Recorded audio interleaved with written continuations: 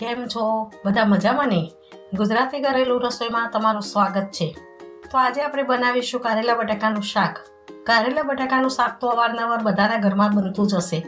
પણ તમે મારી આ રીતથી બનાવશો તો સહેજ પણ કડવું નહીં લાગે અને સ્વાદિષ્ટ બનશે. અને નાના બાળકોને નહીં ભાવતું હોય તો પણ ખાતા થઈ જશે. તો ચાલો બનાવવાનું શરૂ કરીએ.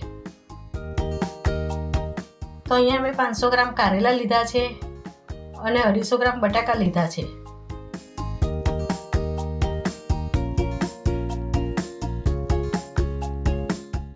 કારેલાની ઉપરની છાલ છોલીને તેને આવી રીતે સમારી લેવાના.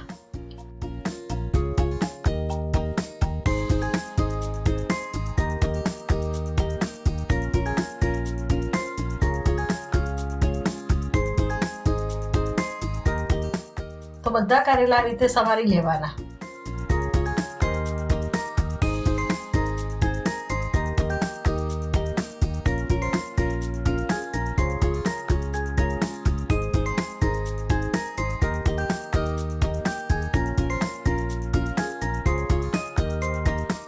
પછી કારેલામાં થોડું મીઠું નાખીને દસ મિનિટ સુધી પલાળી રાખવાના. જેથી કરીને કારેલાની બધી કડવાશ મીઠાના લીધે દૂર થઈ જાય.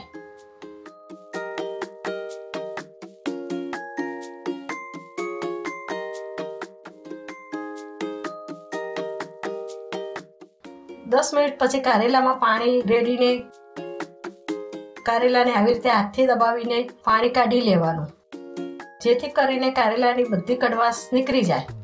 અને કારેલાનું શાક કડવું પણ ના લાગે.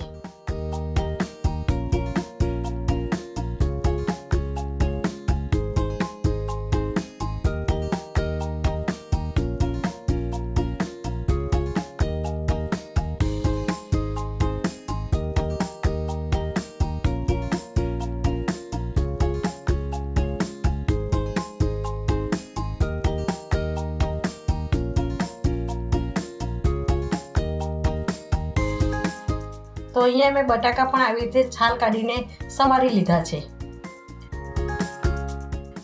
હવે કઢાઈમાં ત્રણ ચમચા તેલ ગરમ કરવા મૂક્યું છે. તેલ ગરમ થઈ ગયા પછી એક ચમચી રાઈ નાખીશું.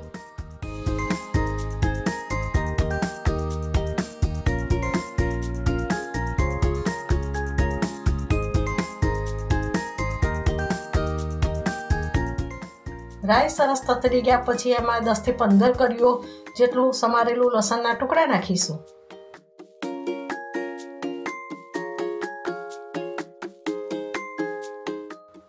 લસણ શેકાઈ જાય પછી થોડી હિંગ નાખીશું. કારેલાના શાકમાં લસણ વધુ નાખવાથી તેનો ટેસ્ટ સારો આવે છે.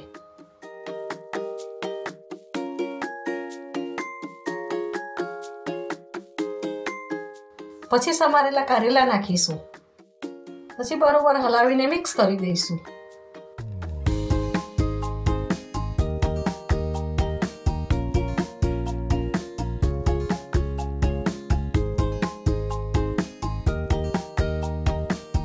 પછી તેને બે મિનિટ સુધી ઢાંકણ ઢાંકીને કારેલાને ચડવા દઈશું. પછી ઢાંકણ ખોલીને શાકને હલાવી દઈશું.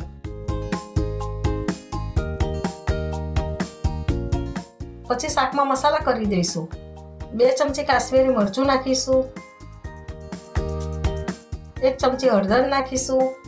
બે ચમચી ધાણા જીરું. કારેલાના શાકમાં ધાણા જીરું નાખવાથી શાકનો મસાલો સારો બને છે અને સ્વાદ પણ સારો આવે છે. પછી સ્વાદ અનુસાર મીઠું નાખીશું. મેં કારેલામાં પહેલેથી જ મીઠામાં પલાળ્યા હતા એટલે શાક બનતી વખતે મીઠું મેં ઓછું નાખ્યું છે. પછી સમારેલો ગોળ નાખીશું. પછી તેને બરોબર હલાવી દઈશું. શાકમાં ગોળ ચડિયાતો નાખવાનો.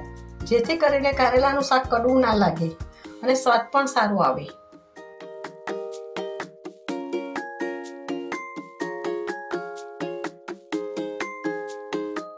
પછી આપણે સમારેલા બટાકા એડ કરીશું. સમારેલા બટાકા ઉપર નાખવાથી વરાળથી બટાકા બફાઈ જાય. પછી તેની ઉપર ચપટી જેટલી હળદર, ચપટી જેટલું ધાણા જીરું અને ચપટી જેટલું મરચું નાખીશું. જેથી કરીને વરાળ બને એટલે બટાકામાં મસાલો ભરી જાય. પછી ઢાંકણ બંધ કરીને પાંચથી સાત મિનિટ સુધી ચડવા દેવાનું. જેથી કરીને બધા મસાલા મિક્સ થઈ જાય અને શાક પણ સરસ રીતે ચડી જાય. હવે આપણે ઢાંકણ ખોલીને જોઈ લઈએ. તો હજી શાક થોડું ચડવા દેવું પડશે.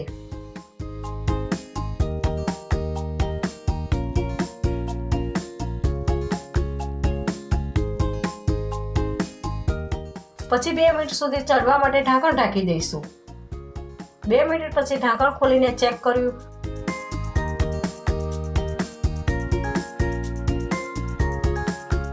તો આપણું શાક સરસ રીતે ચડી ગયું છે.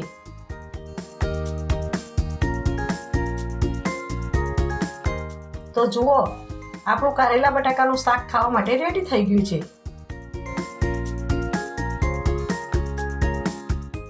આ કારેલા બટાકાનું શાક તમે રોટલી, ભાખરી કે પરાઠા સાથે ખાઈ શકો છો.